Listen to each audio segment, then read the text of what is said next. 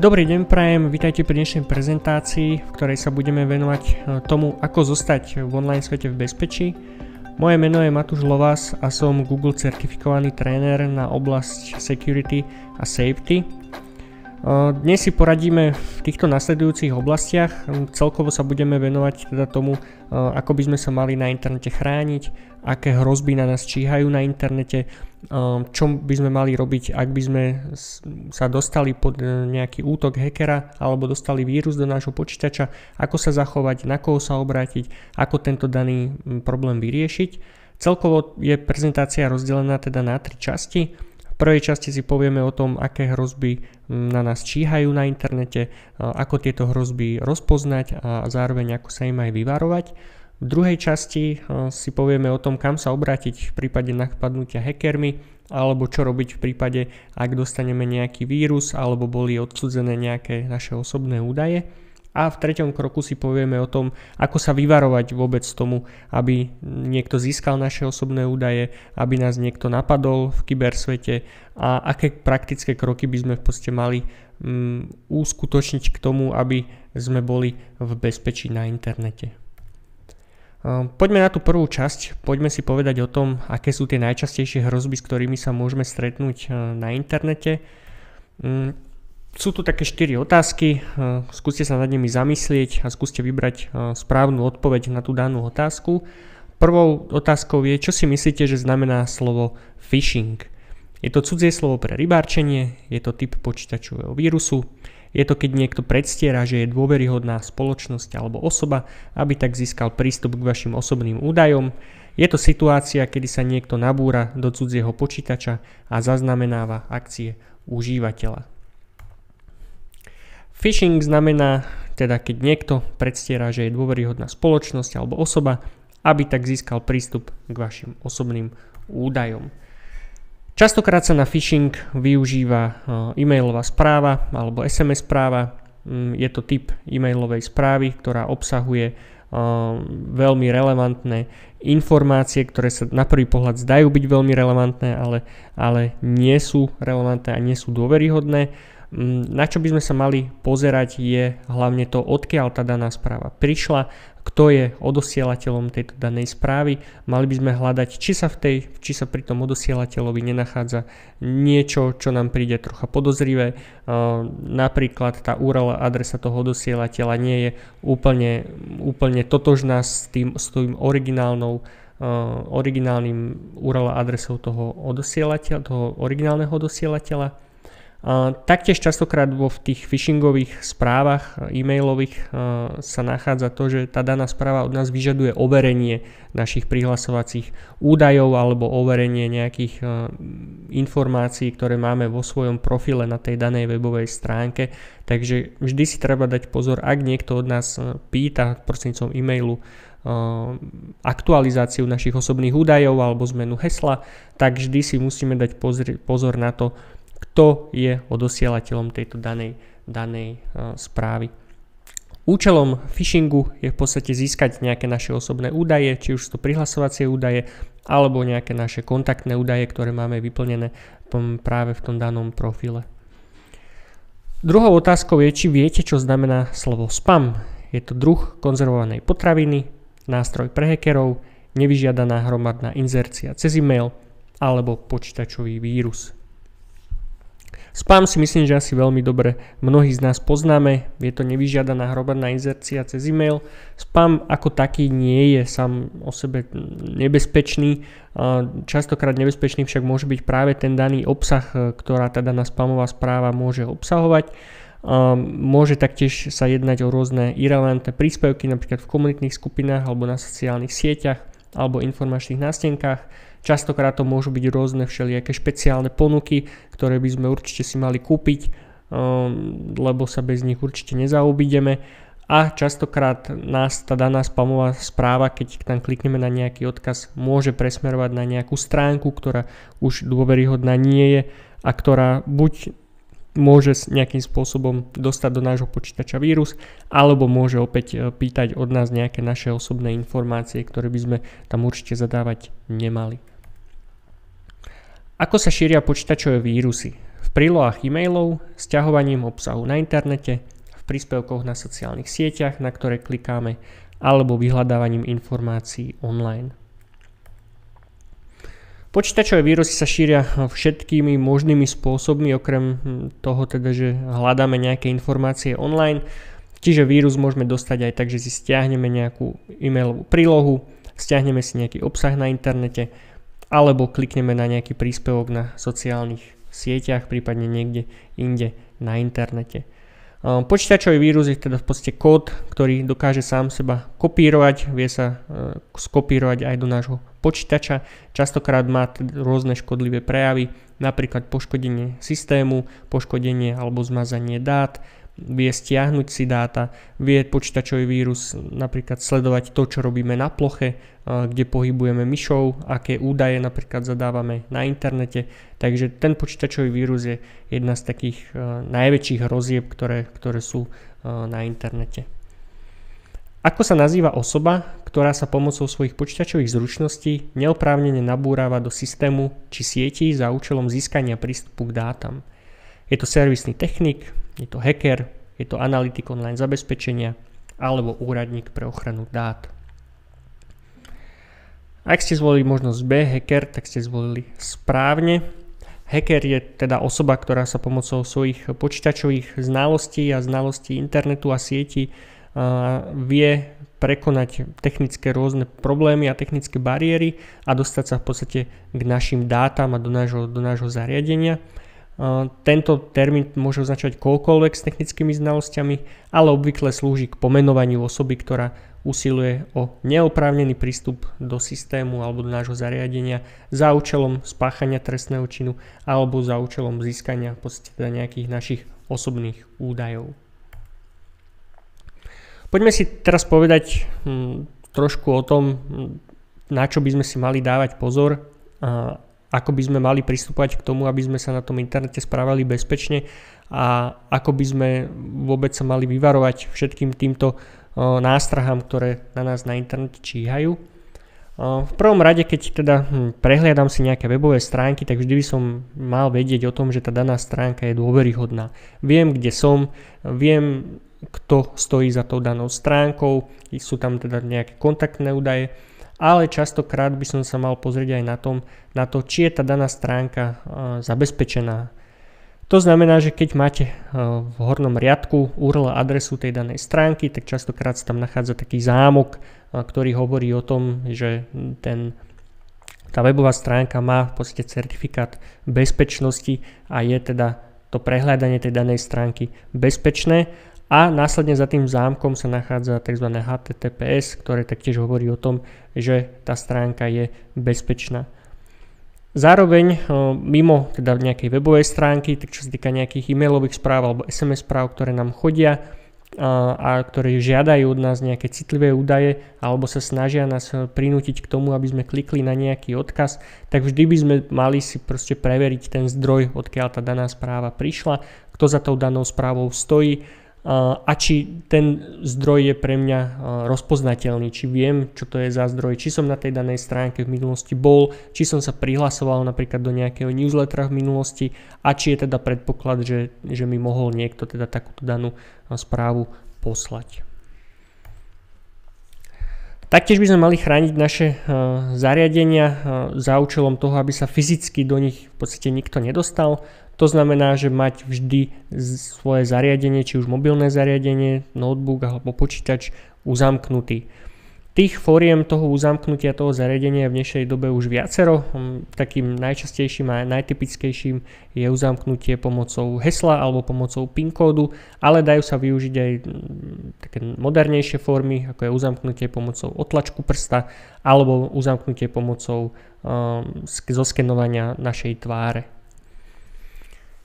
Obdobný princíp si predstavte aj napríklad s nejakým kufrom, keď cestujete na dovolenku, tak taktiež ten kufor nenecháte len tak niekde položený, pohodený a otvorený, aby každý do neho videl, tak takisto rovnakým spôsobom by sme sa mali správať aj k našim e, zariadeniam, nenechávať ich nikde bez dozoru, e, stále si dávať na ne pozor, pretože už v tých rôznych našich technických a moderných zariadeniach máme množstvo rôznych informácií a množstvo rôznych dát, ktoré sa dajú využiť a zneužiť. Čo týka nejakých konkrétnych typov, tak e, chránte teda to zariadenie heslom alebo nejakým iným zabezpečením. To dané heslo by malo byť samozrejme silné heslo, nemali by ste ho nikomu ukazovať, mali by ste ho poznať iba vy. Čo to znamená silné heslo, čiže nepoužívať nejaké dátumy narodenia, nepoužívať nejaké 1, 2, 3 alebo svoje meno alebo meno svojich súrodencov a rodičov, ale skôr ísť do niečoho takého sofistikovanejšieho. Silné heslo by malo mať určite nejaké veľké písmená, malo by mať nejaké čísla a takisto by malo obsahovať nejaké znaky. Rovnako nepoužívajte ľahko uhadnutelný PIN kód, hej, čiže napríklad ten dátum narodenia. A myslíte teda na to, že nie každý počítač sa zamyká automaticky. Čiže keď už mám nejaké heslo nastavené, tak zároveň by som mal aj si nastaviť to, po akej dobe nečinnosti sa to moje zariadenie samé uzamkne. Lebo napríklad to zariadenie môžem si nechať napríklad niekde v práci alebo niekde teda na verejnosti len tak otvorené a zároveň je tým pádom to zariadenie nechránené. Avšak keď tam nastavím tú, tú dobu toho automatického uzamknutia, nejakých 15 alebo 30 sekúnd, tak sa to zariadenie v podstate automaticky uzamkne a je chránené tým daným PIN kódom alebo tým daným heslom, ktoré sme si tam nastavili. No a také, také úplne asi najjednoduchšie je, že nikdy nenechávať v podstate zariadenie bez nejakého dohľadu niekde len tak pohodené na verejnosti. Hm. Ďalším takým hm, takou situáciou, ktorá sa stáva, je, že sa častokrát pripájame na verejnú Wi-Fi sieť. Hej. Verejná Wi-Fi sieť je skvelá vec, ale zároveň predstavuje aj určité riziko, ak nedodržiavame určité zásady. To znamená, že mali by sme používať zabezpečené pripojenie, mali by sme používať dôveryhodnú verejnú sieť, ktorá je chránená heslom alebo šifrovaním. Mali by sme vždy vypnúť zdieľanie súborov a zisťovanie sieti, pretože ak na, tom danom, na tej danej verejnej Wi-Fi sieti je niekto napojený a vie niekto stiahnuť si nejaké dáta a my keď zdieľame nejaké súbory, tak vie sa k tým daným dátam veľmi ľahko dostať. Nemali by sme rovnako zadávať ani žiadne osobné údaje a informácie o platobnej karte na webových stránkach, ktoré si cez verejnú Wi-Fi sieť prehliadame ak potrebujeme niečo kúpiť alebo ak sa potrebujeme niekde prihlásiť, niekde sa zaregistrovať, tak je lepšie používať práve mobilné dáta. Taktiež nenakupujte online a nepoužívajte elektronické bankovníctvo, kedy opäť zadávame uh, hlavne tie naše citlivé osobné údaje, uh, taktiež údaje o platobnej karte, ktoré taktiež môžu byť zneužité. No a ideálne nestiahujete a neinštalujte software, ktorý nepoznáte, ktorý nie je dôveryhodný, a ktorý ste si predtým nejakým spôsobom nepreverili.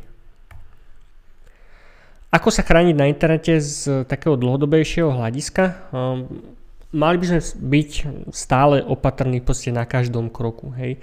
Uh, je to veľmi obdobný princíp, ako keď sme niekde na dovolenke, um, tak stále si dávame pozor, aby sme nestratili pas, alebo náš vodičský preukaz, alebo občianský preukaz. Rovnakým spôsobom by sme mali dávať pozor aj na práve tie naše zariadenia, pretože ako som už spomínal, tak obsahujú v dnešnej dobe už hrozne obrovské množstvo rôznych osobných a našich citlivých údajov, ktoré proste môžu byť zneužité, ukradnuté a to určite nikto z nás proste nechce.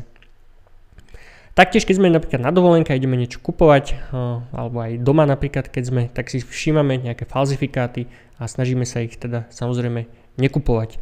Rovnakým spôsobom by sme si mali všímať, či daná webová stránka, na ktorej sa nachádzame, alebo či nejaká e-mailová alebo SMS správa, ktorá nám prišla, je dôveryhodná, či sa tam nachádzajú produkty, ktoré sú dôveryhodné, ktoré sú možno originálne a taktiež, či tá stránka je dôveryhodná z toho pohľadu, že keď, jej, keď zaplatím za ten daný tovar, či mi skutočne ten tovar príde. Čiže všímať si to zabezpečenie, o ktorom sme si vraveli, pozrieť si nejaké recenzie tej danej stránke, tej danej stránky, nejaké hodnotenia tej danej stránky a z toho si spraviť v podstate nejaké závery, či ten web je dôveryhodný alebo nie je. Takisto keď vám v reálnom svete zavolá niekto cudzí, že ste vyhrali v, rote- v lotérii, tak pravdepodobne mu neveríte, pretože do žiadnej lotérii ste sa nehlásili, žiaden žreb ste si nekupovali, takže je veľmi, pravde- veľmi malá pravdepodobnosť, že ste niečo vyhrali.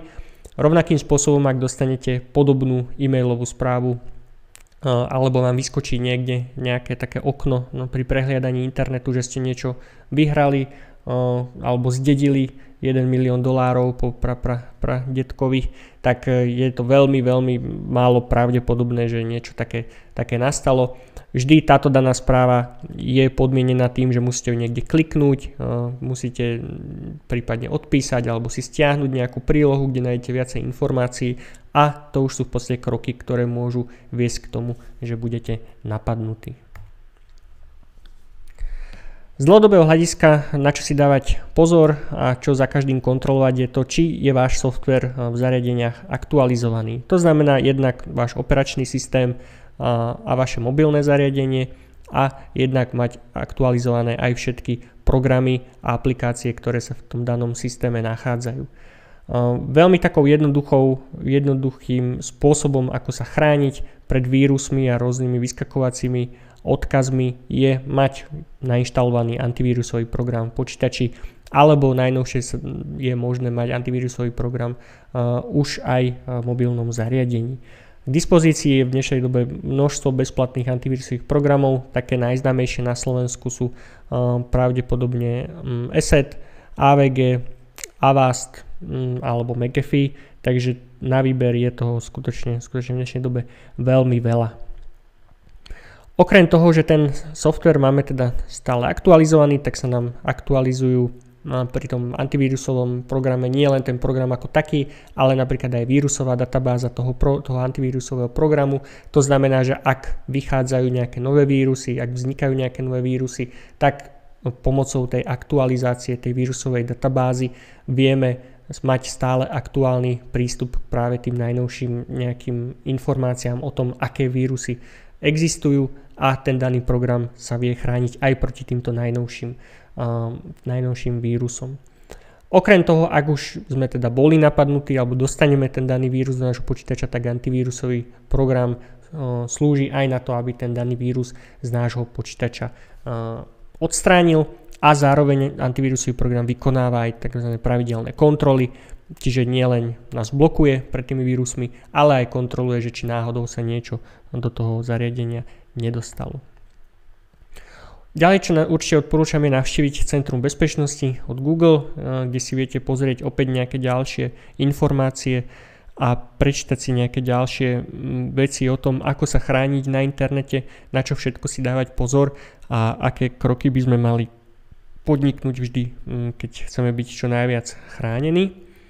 Takisto určite odporúčam vykonať si kontrolu zabezpečenia eh, nášho Google účtu, to znamená, že či mám nastavené dostatočne silné heslo, či mám nastavenú dvojfaktorovú dvojfaktorové overenie toho hesla, um, aké zariadenie sa pripájajú do toho môj, môjho Google účtu, či tam náhodou nie je nejaké zariadenie, ktoré nepoznám. Takže je tam veľmi veľa vecí, ktoré si viete takto veľmi jednoducho a rýchlo skontrolovať a ustiť sa, že ten váš Google účet je chránený a je v bezpečí. No, našetli sme už tému silných hesiel, čiže určite keď sa prihlasujeme do nejakých webových stránok alebo aj do internetového banko- bankovníctva, tak mali by sme mať jednoznačne teda silné a jedinečné heslo. Je to jeden z najdôležitejších krokov pri ochrane účtov na internete. Najľahšie je poste začať tromi náhodnými slovami, ktoré doplníme o číslice alebo symboly a rozlišíme v nich tie, tie, v nich tie veľké a malé písmená.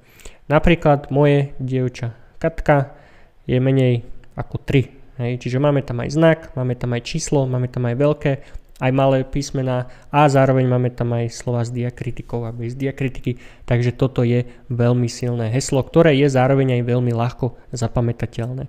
Zároveň e, heslo by sme nemali využívať na všetkých stránkach rovnaké, ale mali by sme mať pre každú webovú stránku e, to heslo unikátne Samozrejme, pokiaľ sa prihlasujeme do strašne veľa webových stránok, tak e, je veľmi náročné si zapamätať všetky, všetky e, hesla, ale môže sa to robiť napríklad takou odmenou, že pri tomto príklade máme tam tú trojku, tak vieme to dané číslo vždy nahradiť od 1 do 9, prípadne od 1 až do nekonečna, čiže vždy ten základ toho hesla je rovnaký a vždy meníme keby len tú koncovku toho daného hesla alebo sa vieme využiť aj rôzne aplikácie a nástroje, do ktorých sa prihlasujeme s jedným hlavným tzv. master heslom a už tá daná aplikácia následne uchováva všetky hesla do všetkých ostatných webových stránok, ktoré máme nastavené. Rovnako sme sa bavili už o, pri, o overení dvojfázového, dvojfázového alebo dvojfaktorového uh, overenia nášho Google účtu. Takže dvojfázové overenie ponúka keby takú dodatočnú vrstvu zabezpečenia. To znamená, že ak sa prihlásujete napríklad do toho Google účtu, tak okrem toho, že zadáte svoje, svoj e-mail a svoje štandardné heslo, tak e, viete si nastaviť ešte ďalšiu fázu overenia, napríklad, že vám príde SMS kód na vaše mobilné zariadenie alebo na telefónne číslo, ktoré ste pri tom danom Google účte uviedli a následne to heslo alebo ten PIN kód, ktorý vám príde do SMS-ky, zadáte ešte tiež na to, aby ste sa mohli dostať do toho, do toho vášho Google účtu. Rovnako určite odporúčam sa pozrieť aj na kontrolu, kontrolu ochrany súkromia.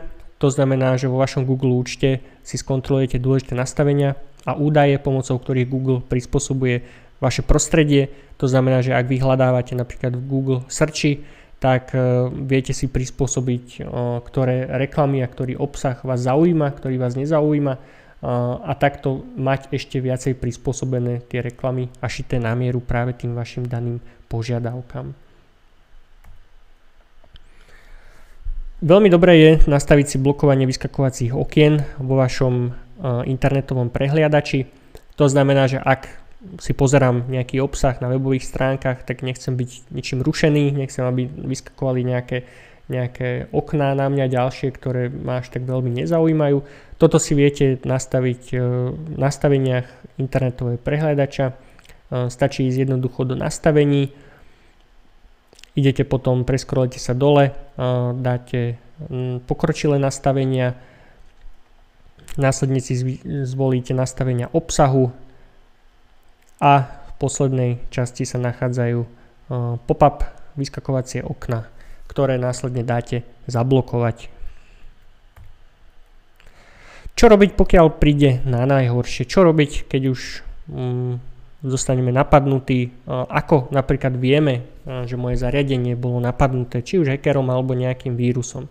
Ten najhorší scenár, ktorý sa môže stať, je to, že vám chýbajú peniaze na vašom bankovom účte to znamená, buď sa niekto priamo dostal a hackol do vášho bankového účtu, prípadne mohol okopírovať vaše údaje z platobnej karty a mohol ich využiť k nákupu na nejakých e-shopoch alebo výberom z bankomatov.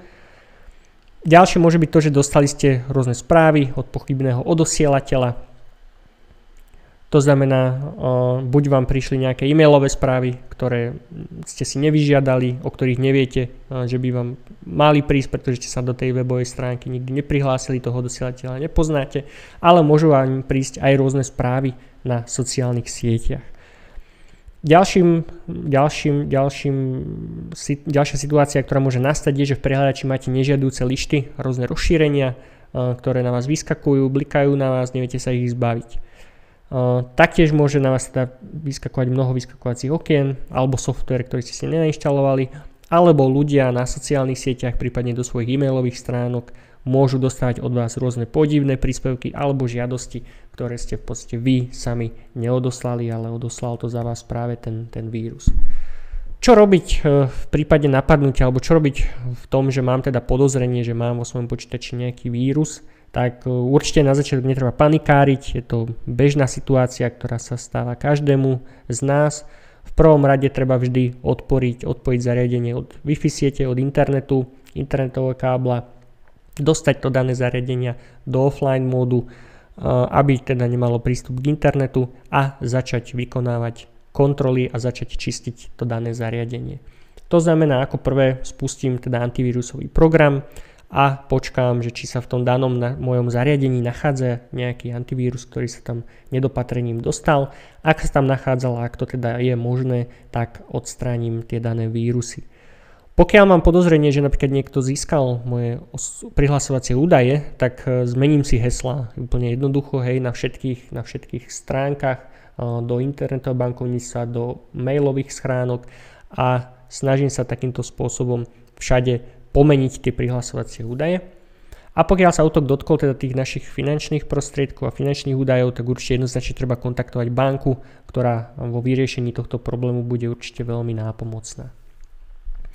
Prípadne, ak by ste sa tejto téme chceli venovať ešte viacej, alebo by ste potrebovali pomôcť e, alebo odpovedať na nejaké otázky, tak e, na Slovensku sa môžete obrátiť v na tieto tri webové stránky a organizácie. Je to zodpovedne.sk, ovce.sk alebo kyberšikanovanie.sk, kde nájdete opäť mnoho aj ďalších užitočných informácií o tom, ako sa chrániť na internete, aké sú tie hrozby na tom danom internete a ako byť stále neustále v bezpečí. Čo sa týka Českej republiky, tak je to program Buď Safe Online, Outu Chytrá škola alebo Jules a Jim. Čo si teda odniesť z tejto prezentácie a ako teda sa celkovo chrániť na tom internete, tak buďte v podstate vždy pripravení. V prvom rade je potrebné mať nastavené všetky mm, možnosti a všetky spôsoby ochrany, ktoré na internete existujú, čiže používať bezpečné heslá, mať eh, PIN kódy, mať nastavený antivírusový program, používať dvojfaktorové overenie a stále tie zariadenia, tie programy a aplikácie mať neustále čo najlepšie a najaktuálnejšie aktualizované. Nenechajte sa nachytať, všímajte si potenciálne podvody, všímajte si nejaké podvodné e-maily, ktoré vám chodia, eh, všímajte si podvodné webové stránky, na ktoré sa nedopatrením dostanete. Nikde nezadávajte svoje osobné údaje a svoje prihlasovacie údaje na žiadne webové stránky, ktoré nepoznáte, na ktorých ste nikdy predtým neboli a ktoré nemáte teda overené, že sú skutočne dôveryhodné. A starajte sa teda o to svoje zabezpečenie a snažte sa vždy predchádzať tomu danému útoku jednoduchými krokmi, ktoré stále budete opakovať a snažte sa tieto kroky a túto svoju nejakú ochranu zautomatizovať a zautomatizovať v tom zmysle, že dostať ju do nejakého svojho podvedomia a robiť ju podvedome bez toho, aby sme na tom vôbec museli myslieť, že aha, teraz sa idem chrániť, tak nie, proste je potrebné to robiť prirodzene a robiť to v neustále. Ja vám ďakujem veľmi pekne za pozornosť a dúfam, že zostanete v online svete v bezpečí.